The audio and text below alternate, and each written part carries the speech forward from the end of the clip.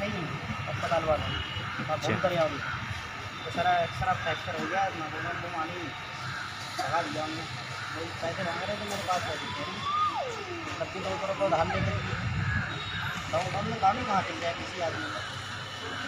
मेरा नाम मुंताज अहमद है। अच्छा मुमताज़ ये बताइए टुक टुक में बैठ के बच्चों के साथ थाने में क्या करने आए नहीं सर सब परेशानी हो रही है। अब इस टाइम पंद्रह दिन हो गए लॉकडाउन खुला था थोड़ा बहुत काम करते जब तक वो छोड़ मार गए थे।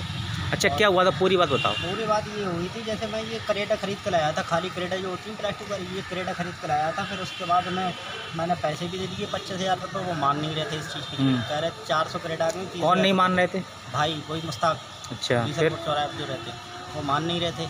यहाँ पर आए, मैंने हिसाब किताब कहा कि हिसाब किताब कर लो, हिसाब किताब तो करा नहीं उनने, मारी लगा दी उनने, सीधे आते आते टट्टू का पकड़ा, पहले गाड़ी में गिरा दिया, दो लड़कों ने भांजे के लड़कों ने छुड़ाया, फिर उनने जैसी मैं उधर को हुआ, उनने उधर को हुए, तुरंत हॉकी मार दी पैर पर अच्छा।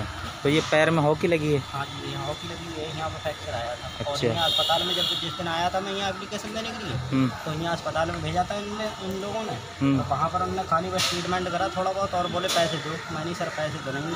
हम्म। तो दो सौ रुपये तब भी ले लिए उन्होंने और ऐसे ट्रीटमेंट करके बोले पैर नहीं टूटा जाओ भागो यहाँ तो। मैंने मैं कहता रहा कि एक्सरा रखा हुआ है सर? एक्सरा देख लो मेरा। बोले नहीं कोई कुछ नहीं चाहिए जाओ भागो यहाँ से अच्छा अस्पताल वालों ने कहा ये? हाँ ये अस्पताल में रिश्वत मांग रहे थे मेरे पास थे नहीं सर गरीब आदमी हूँ टुक टुक चला के गुजारा कर रहे हूँ। अच्छा। उसके बाद दो सौ रुपये तब भी दे दिए थे मैंने हमने तो अभी थाने में किस लिए आए?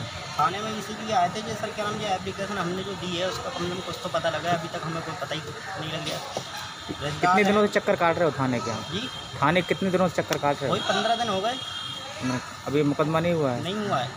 और बहुत रहे मगर आना नहीं चाह रहे हैं क्या क्या आश्वासन दिया है आपको पुलिस ने? ये ये कहा कि लोगों ने क्या नाम की कस्बा इंचार्ज आज़ाद है उनसे मिलना उनको देना ये एप्लीकेशन। ठीक।